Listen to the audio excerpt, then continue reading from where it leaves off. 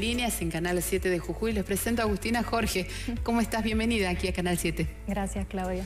Eh, Agustina es increíble, la verdad que fue una sorpresa para nosotros cuando vimos tu perfil, la cantidad de actividades que hiciste y la cantidad de actividades humanitarias. Y es imposible no pensar, eh, una persona que estudió para arquitecta termina en un mundo increíble, inserta en la ayuda humanitaria. ¿Qué, pasó ahí? ¿Cuándo te llega la vocación de decir voy a hacer esto? ¿O, fue de siempre? ¿O tuviste que estudiar porque querías estudiar, pero la verdad que lo, otro es el fuerte tuyo? ¿Qué le pasa a Agustín en todo esto? Creo que todo empezó con, la organización Techo, que llegó un día a la universidad y nos propuso salir a, construir viviendas de emergencia. Yo no tenía idea de lo que era la organización, nunca había hecho un voluntariado. Y desde ese momento que, que decidí que eso era lo mío como arquitecta por ahí no hay tantas organizaciones que, que tienen programas adecuados, pero mm, a través de Techo, bueno, fui creciendo y conocí Médicos Sin Fronteras, descubrí que tenía un programa de construcción y así empezó todo. Y con Techo, ¿cuál fue tu, primera experiencia? Y, eh, o sea, ya estando en la universidad, tomando, en, tomando contacto con Techo, ¿cómo fue tu primera experiencia? ¿O dónde? Fue, creo que fue en el penúltimo año de la universidad, más o menos. Hicimos, mira, fue hace tanto tiempo que no me acuerdo la cantidad, pero viviendas de emergencia en un barrio a las afueras de Buenos Aires, en el Gran Buenos Aires, en barrios muy marginales, donde la gente vivía eh, con techo de chapa, a veces en, carpas de plástico, en situaciones, en condiciones invivibles, ¿no? Em, y me acuerdo de haber hecho mi primera casa y haber pensado, qué triste que esta persona sea feliz con esta casa de 3x6, que era minúscula, ¿no? Y después pensabas, eh, bueno, esto es mucho mejor de lo que tienen. Y ahí me di cuenta de todas las necesidades por las que pasaban estas personas, ¿no? Desde un lugar seguro, que una casa tan chiquita les era indispensable para no mojarse, para no enfermarse, para poder dejar sus cosas guardadas. Em, y así fui descubriendo otro tipo de programas. Con Techo después trabajé en Chile, en un programa de vivienda social, muy bonito. Hicimos Mira, en, uno, en un solo proyecto alrededor de 100 viviendas, em, en dos años más o menos, y fue, fue maravilloso. Y dije, no, esto es lo mío. Eh, Agus, y cuando te fuiste eh, metiendo dentro del mundo de las actividades humanísticas, mm. de, las actividades solidarias, de esto de pensar en el otro, inevitablemente fuiste dejando una parte de tu vida.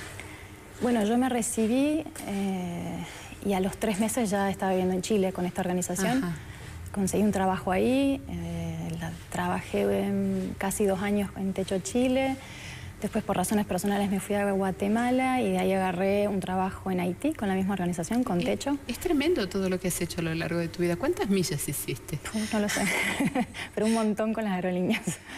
Seguro, pero me quedé pensando en esto, desde el otro lado, la persona que no tiene la vocación o no conoce todo lo que conoces, vos decís, wow, te, te insertás en la vida de, estas personas, vas a ayudar, vas, vas a mejorar su calidad de vida, le vas a permitir que reciban vacunas, vas a estar como coordinador aquí, vas a cambiar la realidad de esas personas, pero vos sentís que fuiste dejando algo de Agustina a lo largo de todo ese tiempo, o esa es Agustina. Y eso es uno, ¿no? Al final lo que haces es parte de tu vida y quién sos. Creo que es así. Después sí vas dejando muchísimas cosas personales a lo largo de la vida porque me, he perdido un montón de eventos lindos y no tan lindos de mi familia, pero son cosas que no compromete por el trabajo. Eh, y vale mucho la pena el trabajo. Por eso uno toma esas decisiones de, perderse esos momentos que por ahí son tan importantes en, la familia. Yo tengo una familia, eh, un grupo familiar muy, muy unido y una familia extendida también muy unida. ¿no? Eh, que por suerte me apoyan y, eso hace que sea más fácil irte, más fácil dejar las cosas y volver. Agus, eh, cuando decís dejé muchas cosas, inevitablemente no dejo de pensar qué sentís que ganaste.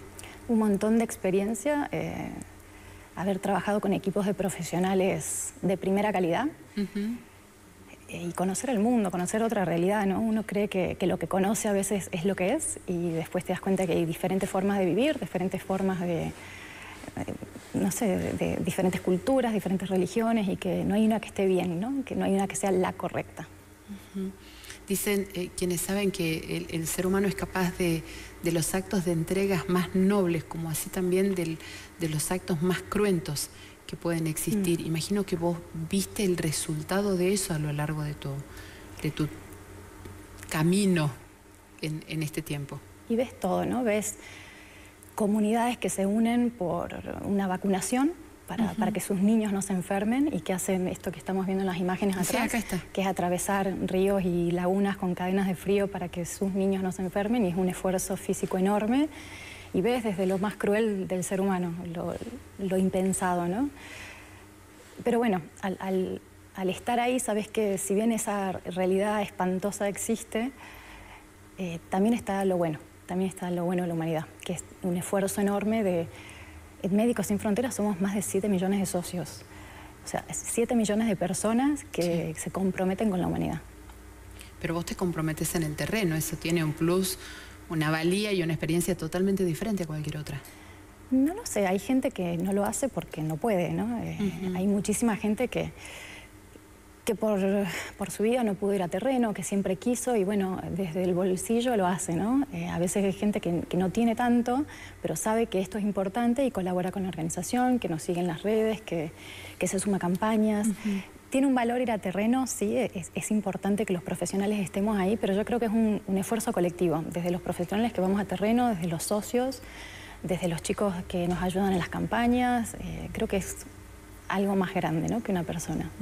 Más allá de ese esfuerzo colectivo, eh, ¿llegó algún momento en que dijiste, no, esto realmente es muy fuerte, para mí es, es vivir eh, circunstancias, es vivir episodios demasiado fuertes y, me voy a quedar como socio, pero no, no como la profesional que va al campo? ¿Lo pensaste alguna vez? Sí, más de una vez. A veces es muy difícil, eh, físicamente es muy demandante.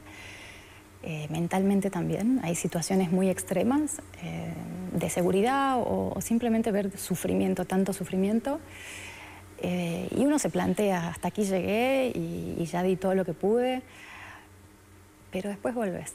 después volves porque es un, es un trabajo súper gratificante que para mí vale la pena. El esfuerzo y el sacrificio y los riesgos valen la pena. Agus, ¿y en algún momento sentiste miedo? Digo, estar en un lugar con riesgo climático, estar en un lugar con, riesgo bélico o, con, tribus o con personas afines que no, están de acuerdo específicamente con lo que estás haciendo. Y el trabajo tiene un riesgo, uno lo asume, pero mira, yo siempre digo que tal vez con otra organización no hubiera ido donde fui porque Médicos Sin Fronteras tiene un manejo de la seguridad, yo creo que de los mejores, tiene una aceptación en, la mayoría de los contextos que no todas tienen. Y eso te permite trabajar en esos contextos y ser respetados. Por supuesto que hay, hay riesgos que no se pueden controlar, más allá de todas las guías de seguridad que manejamos y, todos los, los, contactos que tenemos. Eh, y sí, hay veces que te da miedo. Eh, pero yo creo que hay riesgos en todos lados, esto yo lo asumo, lo acepto y, sé que son por periodos cortos, lo que te permite bajar un poco, sacar esa atención y replantearte, ¿lo vuelvo a hacer? Y si la respuesta es sí, es porque, bueno, tenés que ir. proyectando a futuro, que es una pregunta clásica del programa, ¿cómo te ves en 5 o 10 años, Agus? Mira, yo no puedo proyectar más allá de un mes, sinceramente. Si me preguntas qué hago el mes que viene, no lo sé. Si sale una misión, tal vez me voy. Eh, yo creo que depende del cansancio, depende mm, si por ahí hay otro, otro objetivo que te llame. esta es una causa que a mí me mueve. la atención médica sanitaria para mí es, es, algo que debería ser para todos, es fundamental y, y, a mí me mueve esta causa. Pero tal vez en otro momento otra cosa me llame. Tal vez en cinco años atraviese una situación traumática y no puedo volver a terreno. Eh, no se puede planificar. Sobre todo en este tipo de trabajos uno tiene que ser muy flexible. El día a día. Sí. Agus, em, el desarraigo, ¿cómo te fue con el desarraigo? Yo creo que lo vas trabajando con el tiempo. Yo me fui a estudiar cuando tenía 17 años, de ahí me fui directamente al exterior y volví a Argentina durante dos años nada más. Y, te vas acostumbrando. Eh, tengo mucho contacto con mi familia, somos muy unidos y eso también ayuda, ¿no? yo hablo con ellos todos los días. ¿Cuánto te contiene ese lazo familiar?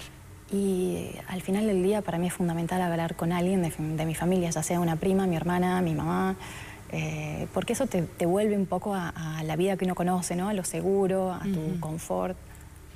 Es, parte de tu cable de tierra. Sí, es, parte de, hacer un descargue de, salud mental. Agu, ¿quién sos vos? Yo soy una arquitecta que nació en Jujuy, que que descubrió el mundo cuando era muy chica. Yo me fui a los 15 años de viaje por primera vez y dije, esto soy yo, una persona que viaja, que se mueve. ¿Y aquí jugabas cuando eras niña? ¿Jugabas al médico, al arquitecto, al que armabas la valija y te ibas de viaje? Realmente no ¿Tienes algún registro? Realmente no, no lo sé. Eh, jugábamos mucho en el negocio de mi abuela, lo que se podía, nos juntaban a todos los primos ahí y que me cuide mi abuela. Era, era el juego entre, entre primos, no recuerdo acá. ¿Qué es lo que más extrañas cuando no estás? La familia, la ah. comida, mi habitación, el patio, la casa de la abuela, los amigos, la, guitarreada del viernes a la noche. ¿Qué, es lo que más te llega cuando te dicen Jujuy? La libertad de poder salir eh, sin tanto protocolo de seguridad. Sinceramente es eso, de poder llamar a una amiga y a tomar una cerveza, a tomar un café. Esa libertad de, salir del grupo donde estás, porque a veces estás eh, seis meses viviendo en una base y te podés mover de la base al hospital, del hospital a la base, que serán un kilómetro de caminata y es todo, por situaciones de seguridad. Lo que más extraño es la libertad. Mira vos la libertad, increíble, ¿no? ¿Cómo lo ves a Jujuy? Me acabas de dar un pincelazo, pero ¿cómo lo ves a Jujuy cuando estás ahí en el medio de, la nada misma? Como la casa, ¿no? Como a lo que hay que volver. ¿Tenés contacto con otros argentinos? Sí, está en médicos. o, en, la organización, o en Techo, o en Médicos Sin Fronteras, o, donde te lleve la vida. ¿Te ha tocado encontrarte argentinos y jujeños? Hay eh, jujeños no tantos, pero argentinos es impresionante, estamos por todos lados. estamos argentinizando el mundo, no somos Es impresionante, estamos en todos lados. Y, tenemos muy buena recepción en muchos lugares del mundo. A mí la verdad que el pasaporte argentino me, resuelve muchos problemas de entrar a lugares remotos y que nos conozcan por nuestros jugadores de fútbol, nuestra selección. Y a mí me da muchísimo orgullo, imagínate. El mate, el asado. El mate, el asado, eh, pero sobre todo la selección. Mira vos, es muy representativa, ¿no? Es muchísimo, muy representativa. Estás en un lugar remoto en Congo y hay un niño que sabe que sos de Argentina y te grita Messi desde que llegaste al hospital hasta la casa. Eh, la verdad que a mí me, me, da mucho gusto que nos reconozcan por eso, ¿no? Que es tan sano. ¿Y qué haces cuando de repente extrañas tu casa, no tenés contacto y decís, no, bueno, qué sé yo, hoy día me levanto y me hago una empanada jujeña, me, qué sé yo, agarro una foto vieja que tengo en el celo y, la miro? ¿Qué, ¿Qué, es lo que te trae a tierra de nuevo a Jujuy cuando estás eh, sin contacto con el mundo? Sinceramente no me pasa mucho, porque es, muy intenso el trabajo, realmente estamos 24 horas en, en alerta, por decirlo de alguna manera. Pero creo que son las fotos de la familia, sobre todo mis sobrinos. Eh, eso me encanta. ¿Cuántos sobrinos tenés? un montón. Eh, y, Agus, eh, ¿dónde vas? ¿Se, hacen relaciones con la gente? ¿Se hacen amistades que, se mantienen a lo, largo, a lo largo del tiempo? ¿O es simplemente pasajero? la ayuda, el estar y el seguir. Depende del lugar. Yo tengo excelentes amigos de... Bueno, he hecho tres misiones en Congo y eso hace que, las relaciones se mantengan porque cada uno o dos años nos volvemos a ver. Eh, pero el trabajo en equipo y con las comunidades es muy fuerte. Y necesariamente haces equipo, haces amistad y te encuentras en situaciones tan extremas y apoyándote y vos sabes que tu seguridad o, que tu confort depende de esa otra persona y la otra persona lo mismo que haces red, haces equipo, ¿no? Y tengo, sí, la verdad que amigos en, en muchos países has estado en todo el mundo. La verdad que nos sorprendíamos mucho. Eh, eh, República Centroafricana, Irak, Camerún, Bangladesh, el Congo, Venezuela, o sea, diste vuelta por todo el mundo. ¿En qué lugar tenés eh, alguna experiencia que te haya quedado grabada a fuego que no la puedas borrar de tu memoria? Imagino que deben ser muchas. Pero esa que te viene a la mente inmediatamente cuando te hablan del trabajo que haces. Congo, siempre es Congo. ¿Por qué? Primero porque es un lugar donde todo lo que haces es pertinente, todo es necesario, es un país que, lamentablemente tiene necesidades de todo tipo. Es un lugar donde estuve tres veces y, creo que siempre voy a volver. Hay, misiones en las que no me siento cómoda para volver, pero Congo es una de esas que siempre volvés, donde hice muy buenos amigos y, donde es fácil trabajar con la gente. ¿Por qué? Porque, no lo sé, creo que el congolés tiene algo, ¿no? Como una facilidad, una aceptación, unas, ganas de trabajar, de salir adelante. Es una población súper fuerte. A pesar de, todo lo que atraviesan, eh, tiene una capacidad, una resiliencia para seguir adelante que para mí es admirable. ¿Eso no te olvidas más? No me olvido más de eso, de, cómo, cómo trabajan en equipo, ¿no? Eh, no me olvido más de, ninguna de las veces en las que llegamos por ahí a, comunidades muy remotas y la gente te recibe feliz, por supuesto, te recibe feliz porque estás llevando ayuda, que es realmente lo que necesitan. Todo el mundo se enferma, eh, es, necesario para toda la comunidad y para mí eso no se me olvida. ¿No tuviste miedo de contraer alguna enfermedad, en alguna epidemia? No, yo no he trabajado tanto en epidemias. Eh, hice una epidemia de cólera, hice una Creo que eso es todo. Una de cólera, alguna de sarampión. Pero no, uno está vacunado. Estas epidemias ocurren en estos lugares porque lamentablemente no hay acceso a vacunas, porque son personas que viven en lugares tan remotos donde no llega nadie ni ellos pueden llegar a otro lado. Eh, pero nosotros estamos todos vacunados. ¿Cómo ves vos, con tus ojos de jujeña, de provinciana, de argentina, pero también de una persona que hace este tipo de trabajo humanitario, cómo ves al resto de la humanidad? Bueno, es muy variada la humanidad, no podemos ser categóricos. Tiene, de todo, sí. Hay de todo. Pero generalmente. Eh, yo creo que la mayor cantidad de la población mundial eh, no tiene las posibilidades que tenemos nosotros en Argentina ni en Jujuy. Creo que es muy variada, creo que hay, mucha diferencia entre personas, eh, mucho rechazo también entre, entre diferentes poblaciones y pero también veo que hay muchas ganas de hacer las cosas bien. La humanidad, digo, hay una parte que reacciona ante todos estos eventos, donde está Médicos Sin Fronteras, por ejemplo, pero hay otra parte que no. ¿Pensás que esa parte que no es porque no le interesa qué es lo que pasa en el mundo o porque no lo sabe? Puede ser porque no lo sabe o también porque esta persona puede tener otro tipo de problemática más próxima y se aproxima más a eso. Yo veo que en Jujuy hay muchísima gente que hace voluntariado, veo muchas organizaciones que también funcionan muy bien y tal vez una causa que está tan lejana como en Congo no es algo que te impacte en tu vida diaria o que desconozcas y, creo que, cada uno se mueve por su causa o por lo que le, impacta más, más de cerca, ¿no? ¿Vos te sentís contenida por Médicos Sin Fronteras o por Techo o en algún momento decís, eh, me, gusta el trabajo humanitario, pero yo formaría mi propia ONG, formaría mi propio movimiento humanístico? No, Médicos Sin Fronteras es mi casa. Yo creo que voy a seguir siempre en esa organización donde hice muy buenos amigos, muy buenos colegas, donde me siento segura por sobre todo y porque sé que que la forma que usamos los recursos es, correcta. esa, es mi, esa, es mi, casa, ahí me quedo. Muy bien. Sabes que a diario eh, encontramos a jujeños que, son destacados acá, que están acá, pero otros jujeños que brillan en el mundo o, en cualquier otra parte del país. Siempre les preguntamos qué le dirías a la gente a la que vos inspirás. Eh, quédate en Jujuy, probá cuáles son los pros, cuáles son los contras de salir de tu lugar de confort. Primero tenés que encontrar tu causa, porque si no te mueve, no te va a durar mucho. Y si estás fuera de Jujuy, que se animen porque el primer paso cuesta, pero después no puedes parar. Es increíble el motor que te mueve. ¿Qué alimenta ese motor? No sé, creo que yo tuve la suerte de nacer en una familia que, me pudo dar todo lo que tenía, todo lo que tengo. Eh, me dio la posibilidad de tener acceso a educación, educación terciaria, que no todo el mundo puede bueno, hay que estar un poco, ¿no? De vuelta. Agus, eh, vos das bastante, eh, es increíble, pero también hay gente que te quiere dar su cariño. Ah, bueno. Te propongo que lo veamos, ¿te parece? dale. Eh, decirte que sos una persona súper especial, que estoy muy contenta de que la vida nos haya cruzado, desde la parte personal y también desde la parte profesional. para mí sos una persona maravillosa, con un corazón inmenso, con una templanza y con una fuerza que pocas personas tienen, a seguir para adelante. Eh, por lejos, sos una de las cosas bonitas que, me pasaron a mí en la vida.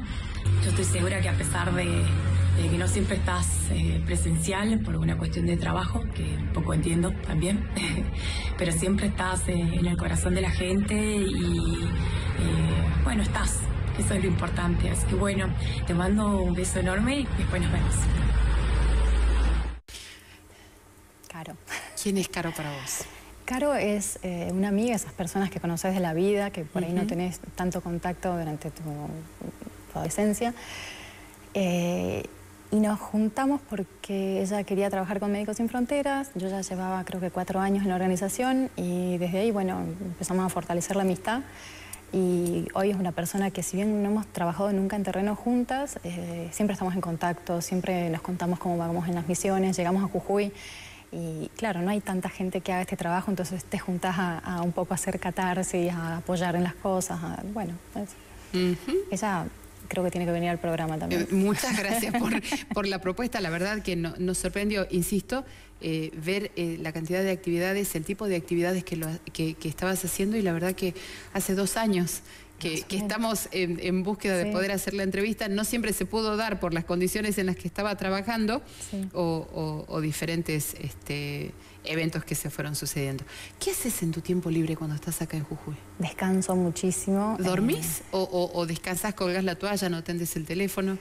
Hago todo lo que no puedo hacer en terreno, eh, hacer deportes, comer bien, con tiempo. Eh, pero por sobre todo paso mucho tiempo con mi familia, mucho tiempo. Qué linda. Agus, la verdad, muchísimas gracias por venir el día de hoy acá. Sabemos que tampoco, mm, no te gustan demasiado las cámaras. Bueno, pero acá uno está, uno está cómodo, es un living, estoy con una amiga. Muchísimas gracias, en serio, de verdad. es el objetivo de Entre Líneas, de que quienes vengan se sientan en su casa, puedan contar su historia y puedan inspirar a tantos jujeños que necesitan saber que hay personas tan valiosas en nuestra provincia como, como en cualquier otro lugar. Gracias de nuevo de todo corazón y creo que te llevas el corazón de todos para tu próxima misión. Bien, muchas gracias Claudia y gracias a todos en la producción. No, por favor, también gracias a ustedes por acompañarnos el día de hoy a conocer la historia de Agustina Jorge. Mañana nos volvemos a encontrar aquí después de las noticias.